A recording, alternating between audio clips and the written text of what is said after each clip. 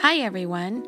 I actually got this Way Too Wonderland Briar Beauty doll last week as soon as it came out, but just have been so busy I haven't had a chance to put up a review. So thank you for being patient. Here she is finally. I like this doll, but I do think she has one serious flaw, and I'll share with you what that is and see if you guys agree with me. The back of the box has her Way Too Wonderland outfit artwork and a customized wacky clock with a sleeping mask and rose and a lipstick kiss. A little bit of text about how Briar really likes Wonderland. And we can go ahead and get her out and unbox her so we can look at her.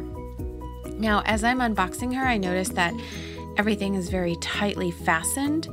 So I'm gonna have to take out the scissors to cut the key and the stand apart. And let me show you her wrist. The wrist has such a tiny, tiny slit, the tiny hole, that you really have to be careful how you're cutting her out with the scissors. Here she is out of the box. Let's take a good look from head to toe. That outfit is so well designed, so much detail. She comes with a comb, black. She comes with a stand, and she comes with a playing card with her artwork on it. And let me just mention right now what I think the flaw is. So I'll zoom into her face. Can you guys see that her eyes are painted unevenly? The right eye, the one that I'm pointing to, well, it's actually her left eye, but it's the eye on the right. It's just slightly too high and slightly too far from the nose. It's almost like it's too far northeast of her nose. And this is the card. There's the usual riddle on one side and the diploma of graduation on the other. So Briar wears her hair in a bun. She's got a large oversized rose with a bright green butterfly, almost a chartreuse green. Eyebrows are fuchsia, lips are fuchsia.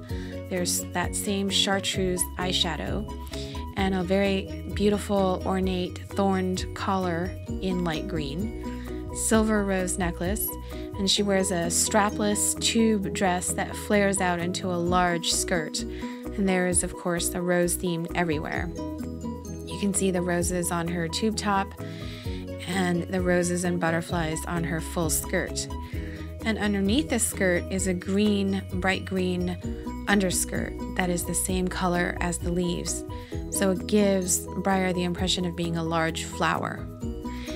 And her shoes are beautiful. They are pale blue in color with a lot of butterfly detail and then two bright pink roses. And they're open toe shoes, which I think are just so cute. Now let's go back up here and look at her accessories. So let's look at her earrings. I'm going to turn the flash on so you can see them more closely. So they're actually a chain of butterflies. I think there are five butterflies. The, like all the other Way Too Wonderland dolls, she wears a ring.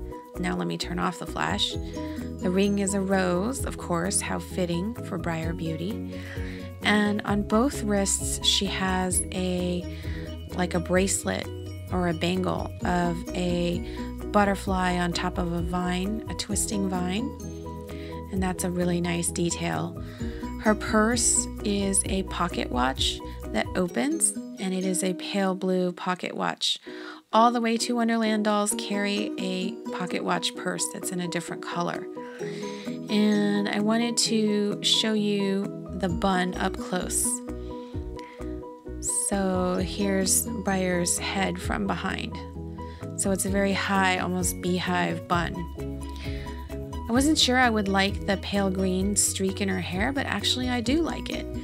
The only thing I don't like is her left eye. Okay, so Briar completes our Way Too Wonderland collection. And you can see that she is the tannest of them all. Apple may be the fairest, but Briar has the best tan. Anyway, what do you guys think of Briar? Do you agree with me on that one little flaw? I hope you like and subscribe to my channel, and I can't wait to read your comments below. Thank you so much for watching.